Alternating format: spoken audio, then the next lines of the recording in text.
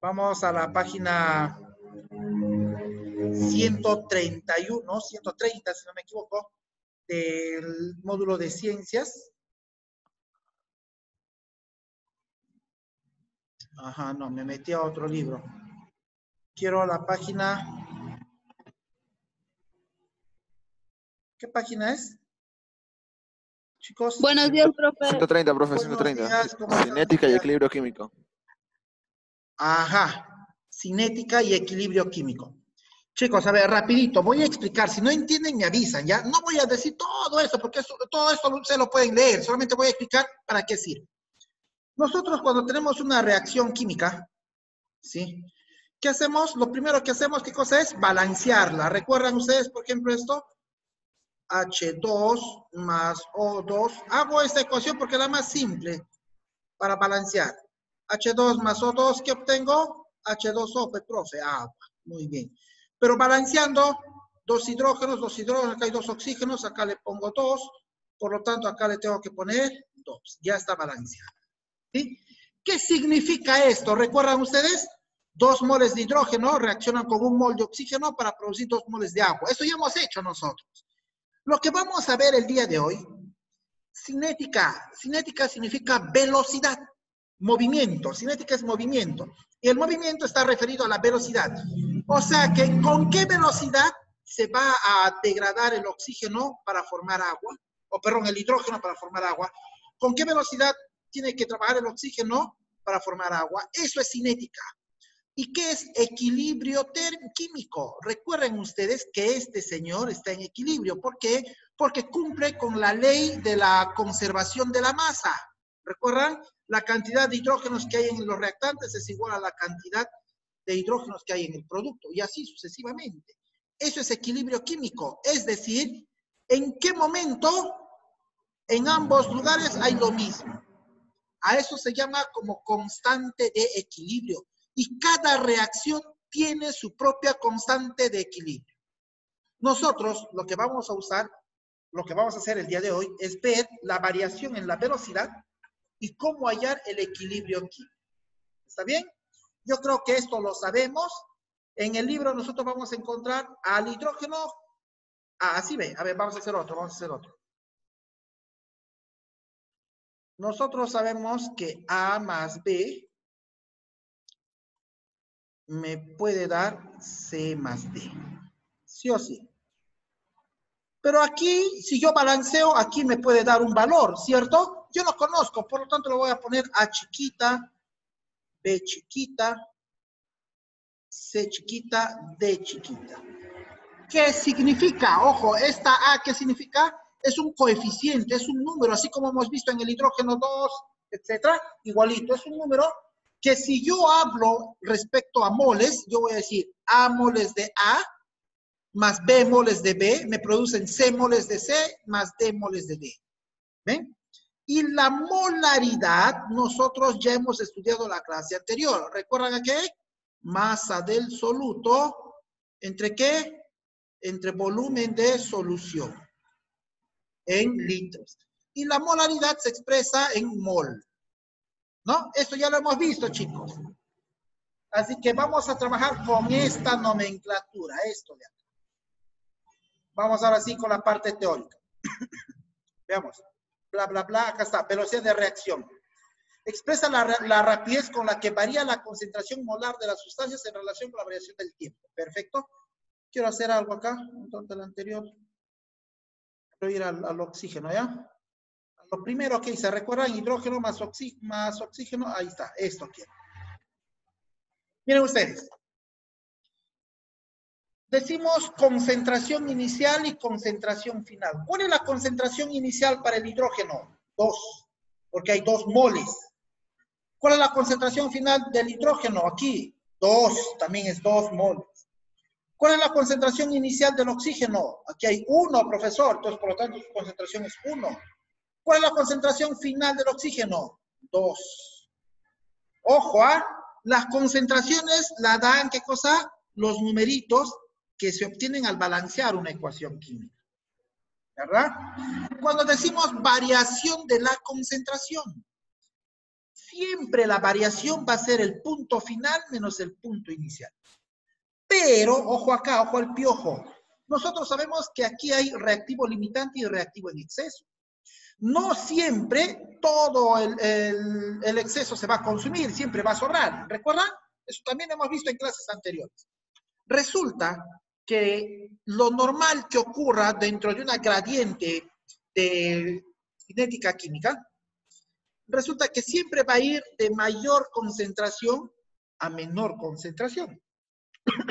¿Por qué? Porque no se produce, no se consume todo. ¿Recuerdan eso? ¿Quién lo limita? Lo limita el reactivo en limitante, obviamente.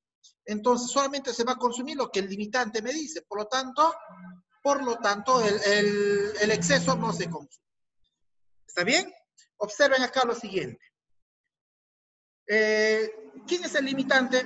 Nos faltaría datos este, del problema, ¿no? Supongamos que el oxígeno sea limitante. Entonces, si aquí hay uno, fíjense, si aquí hay uno, ¿cómo es que se vaya a formar dos, dos moles de oxígeno si acá hay solamente uno? ¿Cómo, profesor? No se puede, ¿verdad? ¿Sí? ¿Por qué? Porque de uno no vas a formar dos, de dos tú puedes formar uno, ¿sí? Entonces, en todos los casos, la variación de la concentración, como vamos a ver nosotros en la parte de, práctica, donde soy, acá, esta, esta triangulito significa variación. Esta, eh, este, ya, eh, corchetes, ¿no? Significa concentración. Variación de la concentración va a ser concentración final menos concentración inicial. Pero como normalmente siempre va a haber, la concentración inicial va a ser mayor que la concentración final, entonces se pone el signo negativo. Eso indica que va a ir disminuyendo. En matemática superior nosotros lo conocemos eso como una derivada. ¿ya? La variación que va a ocurrir siempre es final menos inicial. Pero siempre, este, mayormente la inicial hay más que la final al hacer esta diferencia me va a salir negativo. Como yo necesito que salga positivo siempre, ah, le pongo un signo negativo acá. ¿Está bien? De ahí sale ese signo negativo. Aquí tenemos la ecuación, miren. A de A más B de B produce C de C más D de D. La velocidad de reacción del elemento A o, del compuesto A va a ser igual a quién? A la variación de A menos la, menos, menos la variación de, A entre la variación del tiempo. Y así sucesivamente en cada uno de ellos. Profe, ¿cómo es esto? Aquí, vamos aquí tenemos un ejemplo. Al principio, o sea, en el tiempo cero, hay cuatro moles de A, tres moles de B, cero moles de C. Porque la reacción es A más B me da C. Miren, ¿ah? Dice A más B me da C. O sea que va a haber A, va a haber B y C, no hay nada en el tiempo cero. A hay cuatro moles, eso significa que aquí, aquí se estaría poniendo cuatro y B hay tres moles. Eso sería al principio. Luego que se lleva a cabo la reacción, vamos a tener lo siguiente. 3A más 2B forman una C. Listo. Ahora vamos a analizar la velocidad de, reacción de A. Concentración inicial. ¿Cuánto es la concentración inicial? Aquí está 4. La concentración final, 3. ¿Cómo se halla? Restando el final menos el inicial. Menos, está el menos. El final, que es 3, menos el inicial, que es 4. Entre igualito con el tiempo. El tiempo acá es 1 el final, el tiempo inicial es 0. 1 menos 0. Sería menos por menos más 1, y abajo 1, 1 entre 1, 1. ¿Qué significa? Que la velocidad de reacción de A es un mol por segundo. En otras palabras, A está disminuyendo un mol por cada segundo que pasa. Lo mismo va a ocurrir con B. Y en el caso de C, no es que va a disminuir, sino todo lo contrario. C se está formando. Recuerden acá que C se está formando. A y B disminuyen para que se forme C, ¿verdad? Entonces, la velocidad de formación para C, la velocidad de formación va a ser igual a un mol por segundo. Litros por segundo, ¿ya? Litros por segundo. Porque está mol, mol, este, el mol es mol por litro, ¿no? Litros por segundo. Y así sucesivamente. Vamos ahora con lo que corresponde a la velocidad de reacción y la velocidad estequiométrica. La de la reacción ya la tenemos, ¿no?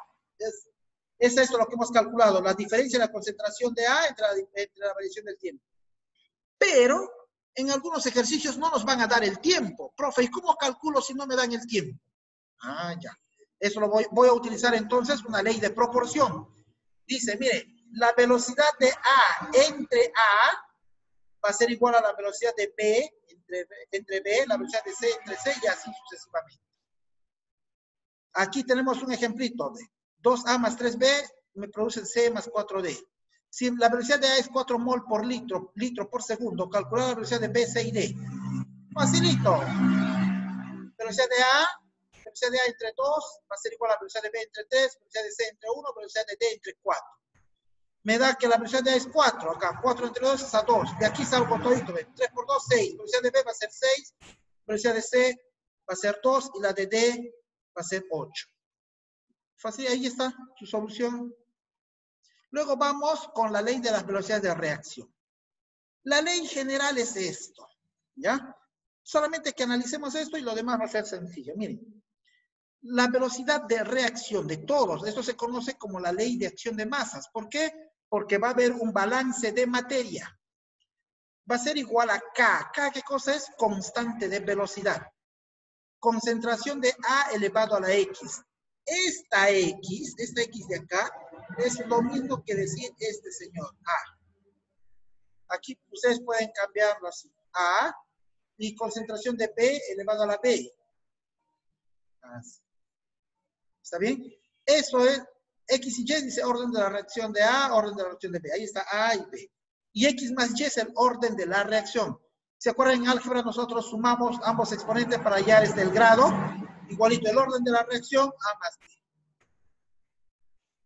¿Listo? ¿Qué factores influyen en la velocidad de una reacción? Los reactantes, la concentración, obviamente a mayor concentración, mayor velocidad. El grado de división de los reactantes. ¿Cuál es el grado de división? Esto de acá, lo que hemos visto, A más B. La temperatura, a mayor temperatura, mayor velocidad. Y los catalizadores. Los catalizadores son como las enzimas que aceleran una reacción química. Finalmente, a lo que nos interesa en la segunda parte. Todo eso es velocidad, todo eso es cinética, ¿no? Porque hemos hablado de velocidad. Ahora vamos con el equilibrio químico.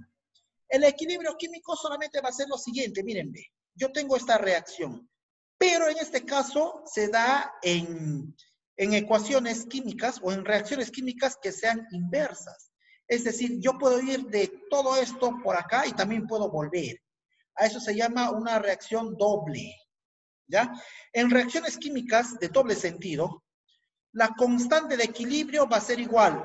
Siempre el producto entre los reactantes. Miren bien.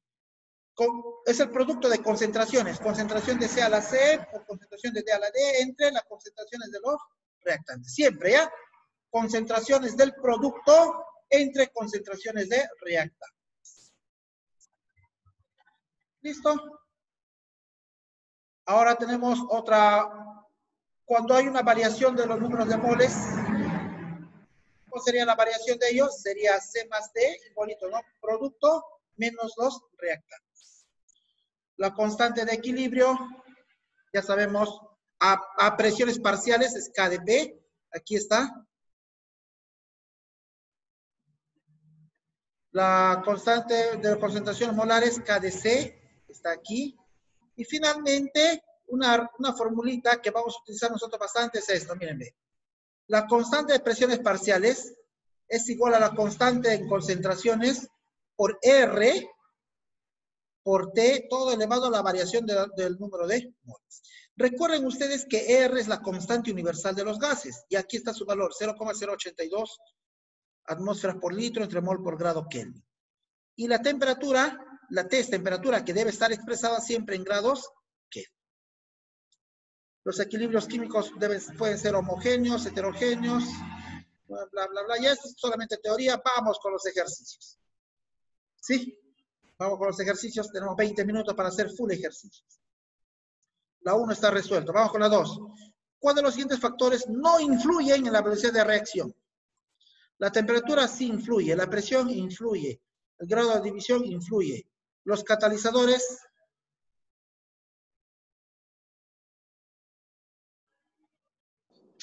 No, pero... A ver, a ver, a ver, algo está mal acá. ¿Qué dice? No influyen, dice. La temperatura sí influye. La presión...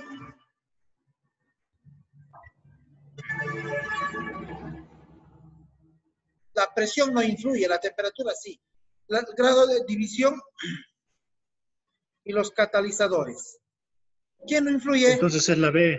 Ajá, la presión no influye. Esto está acá, Ahorita acabo de leer, me acuerdo. Factores que afectan la velocidad, los reactantes, concentración, grado de división de los reactantes, temperatura y catalizadores. ¿Ves? No hay presión. La presión es la que no influye, ¿ya? La B, profe. La B. Aquí tenemos la pregunta 3. Vamos a plantear la ecuación. Velocidad de A. Miren, velocidad de A ¿Entre cuánto? Entre 2 es igual a la velocidad de B entre 4. Eso es igual a la velocidad de C entre 3, que a su vez es igual a la velocidad de D entre C. Esa es la proporción de las velocidades, ¿verdad? Me dice que la velocidad de A es 4, o sea, este señor es 4. 4 entre 2 va a ser igual a 2. O sea, todo esto es igual a una constante 2. ¿Cuál es la velocidad de C? Aquí está. Voy a igualar este señor con esto. Velocidad de C es igual. Este 3 que está dividiendo pasa a multiplicar. 3 por 2, 6. Listo. 6 que mol por litro por segundo. Así, así se expresa la velocidad de reacción. Fácil, ¿no? Siguiente. tengo esta reacción que ya está balanceada, señala el orden de la reacción. ¿Cómo se calcula el orden de la reacción? ¿Se acuerdan? Yo tengo que hallar, miren, para el orden de la reacción, ¿dónde estamos? Por aquí había un ejemplito. Aquí está. Primero tengo que sacar la velocidad de reacción. Es constante, recuerden. Aquí. la velocidad de, la reacción de este señor va a ser igual a la constante por la concentración del nitrógeno elevado a qué número? Se supone que acá está la unidad, ¿no? No se pone, se sobreentiende. Yo no, no es necesario poner, pero lo voy a poner solamente para que se den cuenta. Multiplicado por la concentración del otro señor, del reactante, que es el hidrógeno, y ese hidrógeno hay tres. ¿Ya cuál es el orden? El orden es como decir el grado. ¿Cuánto es el grado? Agarro uno al tres y lo sumamos. Uno más tres, cuatro. Ah, ya, este tiene una reacción de cuarto orden. Fácil, ¿no? Ojo, miren, hacemos la formulita de la velocidad, ponemos los exponentes como los exponentes vienen a ser los coeficientes de cada reactante y finalmente para hallar el orden se suman estos exponentes. La 5 está resuelta. No, ¿no? Sí está resuelta. Vamos con la 6. La siguiente reacción. ¿Está balanceada esta reacción? Recuerden que en todos los casos primero tengo que balancear. Acá hay dos nitrógenos, acá no hay nada. Tiene que venir dos nitrógenos. Dos. dos, por tres, seis hidrógenos. Acá tiene que venir Tres hidrógenos. Ahora sí está balanceada, ¿verdad? Me dice la constante de equilibrio. Cuando me dice constante de equilibrio, solamente se refiere al constante cinético. Siempre la constante cinético va a ser los, el producto, la concentración del producto entre la concentración de los reactantes. El producto, ¿cuánto es? El producto es el amoníaco, NH3,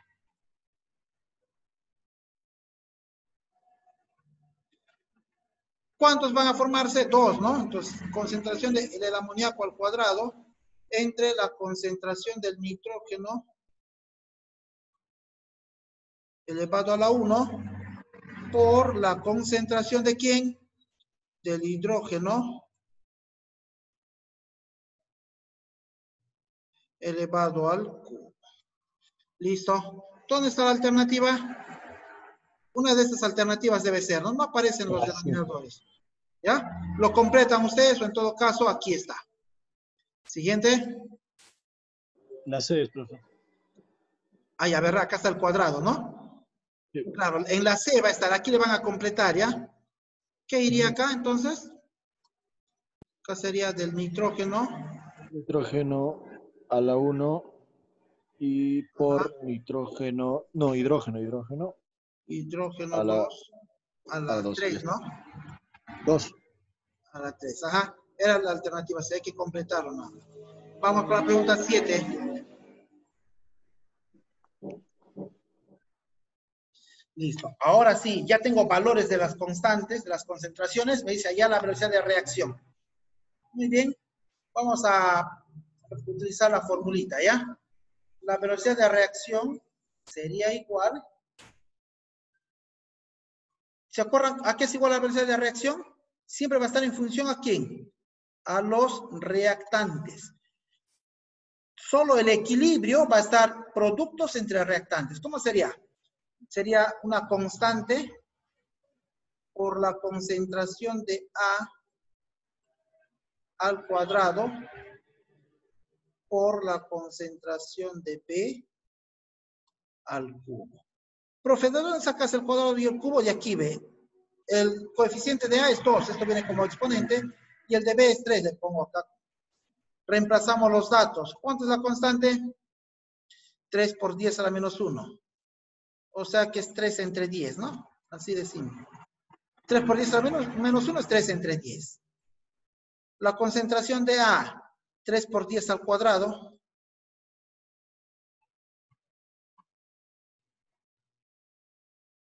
Todo eso al cuadrado.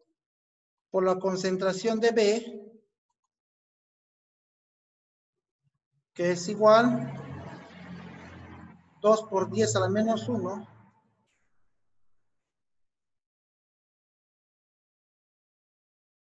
Todo esto elevado a cuánto? Estoy en B, ¿ah? aquí, elevado al cubo. Aquí está la formulita. Reemplazamos. Me queda 3 entre 10 aquí abajo, no hay problema. Acá me va a salir 9 por 10 al cuadrado. Sale 216. profesor. ¿Cómo? Sale 216. Ya, gracias. 2 al cubo es 8 por 10 a la menos 3.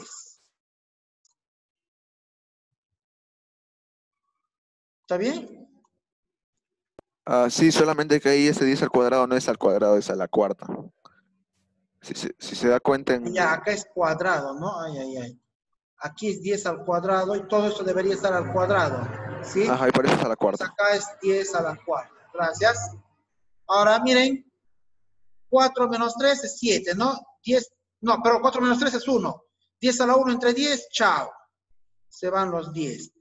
Me queda 9 por, 9 por 8, 72 por 3, 216. Esa sería la velocidad de reacción. Siguiente. La 8 está resuelta, vamos con la 9. Se encuentran en equilibrio 6 moles de carbono, 2 moles de A y 4 moles de B, un recipiente de un litro. ¿Cuál es el valor de la constante K? Miren, tenemos aquí un ejercicio similar en donde me dice que la constante, me pide constante cinético. Me dan que hay un volumen que es de medio litro. ¿Cómo se resuelve? Miren, la concentración de A va a ser igual la cantidad de moles de A entre el, volu- entre el volumen que existe. 0,5 litros. Igual para cada uno de ellos. Entonces, yo quiero ya la concentración de A. Aquí, la concentración de A. ¿A qué va a ser igual? Al número de moles de A. ¿Cuántos moles tiene A? Dice, dos moles de A. Hay dos moles de A. Entre el volumen, ¿cuánto es el volumen? Un litro, dice. El volumen es uno. Entonces la concentración de A es 2. Hacemos lo mismo para la concentración de B. ¿Cuántos moles de B? 4 moles de B. entre el volumen que es 1, 4 entre 1 es 4. Concentración de C. Ya creo que ya lo podemos hacer, ¿no? 6 entre 1 va a ser 6, directo. Ahora sí tengo concentración de A, tengo concentración de B, concentración de C. Me dice hallar la, constante de C. ¿Cuánto vale? ¿Cómo hallamos esa constante C? Miren el ejercicio anterior. ¿A qué es igual la constante C? Es eh, la reacción, la concentración del producto entre la concentración de quién? De los reactantes. Eso hemos hablado al principio, ¿recuerdan? Entonces aquí, ¿cómo quedaríamos? La constante, la constante sería la concentración del producto que es C. ¿Cuánto es C? 6 elevado a este exponente que es 2 entre la concentración de A, que es 2 elevado al exponente 1, simplemente 2, por la concentración de B, que es 4, elevado a la 1. 36 entre 8, ¿cuánto sale? 4,5. 4,5. Por lo tanto, la constante va a ser igual a 4, ¿se entendió? Chicos. Sí, profe. Vale. Sí, profe. Sí, sí, sí. ¿Qué número? 10, ¿no? Esto está más fácil ya. Pero hay que balancear la ecuación, siempre hay que balancear. En este caso, cuando tienes A, B y aquí hay 2, se supone que ya está balanceado porque no sabes aquí cuánto hay. Pero cuando yo tengo elementos, ahí sí tengo que balancear. Un carbono, un carbono, dos oxígenos, dos oxígenos. Profe, ¿está balanceado? Perfecto, ya está balanceado. Constante de equilibrio. ¿Cómo se calcula la constante? Concentración del producto. ¿Quién es el producto? CO2. ¿Cuánto es su concentración? 8 mol. Al, elevado a la 1, ¿no? Porque está solamente 1 no es al cuadrado, entre la concentración del carbono por la concentración del oxígeno. ¿Cuánto es del carbono? 2. ¿Cuánto es del oxígeno? 4. Y esto es pan comido, ¿no? ¿Cuánto sale? 1, P, profe. Sencillo. 11. Como, profe, ¿ese 8 no estaría elevado al cuadrado? ¿Por qué lo vas a elevar al cuadrado, papá? Ah, no, Porque no, en el no. ejercicio anterior está al cuadrado. Ya, confundí. eso es por este señor.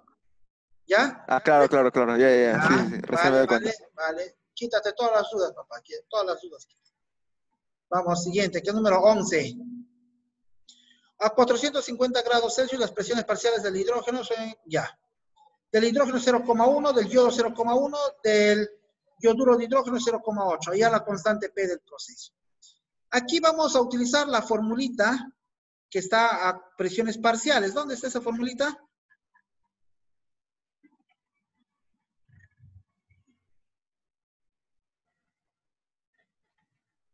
Aquí esto, a. La constante de presiones parciales va a ser la constante cinética por este, la constante universal de los gases, por el tiempo, el- a la variación del número de moles. Pero las presiones parciales, a mí me dan las presiones parciales. De 0,1, 0,2. ¿Dónde está esa? Hay un... Debe haber una relación de presiones parciales. ¿Dónde está?